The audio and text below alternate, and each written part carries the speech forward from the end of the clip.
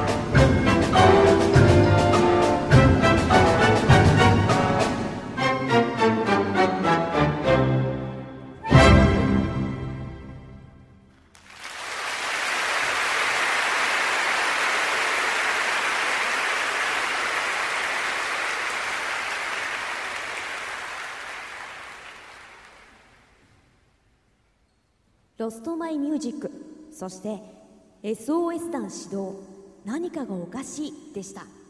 この曲は Live Alive などで使用されていたわけですが高崎さんいかがでしたでしょうか？はい、えー、 Lost my music はですね、まあ、ほとんどの方がご存知だと思うんですけれども、はい。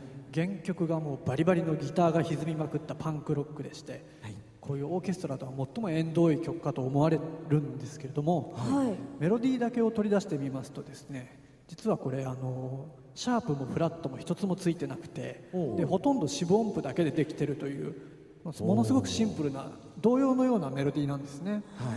なので、えーこういかようにも編曲の違いがあるということで、はい。今回はあの一つのメロディーの中で繰り返していくうちに勇ましさであるとか、はい。優しさとか可愛らしさとかそういういろんなものを表現していただいたと思いますそういう音楽の面白さをちょっと感じてもらえたらなと思いました。はい。はい。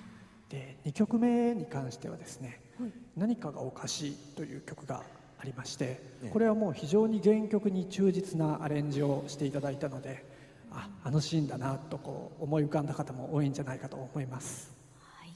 はい、ありがとうございました。それではここでもう一人ご紹介いたします。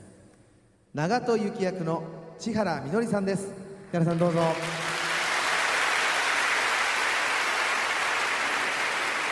は、ジョンみのりです。よろしくお願いしでは千原さん、今のお気持ちはいかがですか。えーと、そうですね。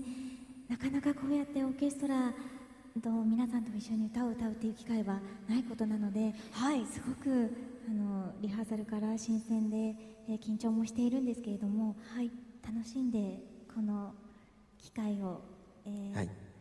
愛を込めてですね、愛歌を歌いたいなと思います。はい。はい。はい。ありがとうございます。では千原さん。はい。よろしくお願いいたします。よろしくお願いいたします。よろしくお願いします。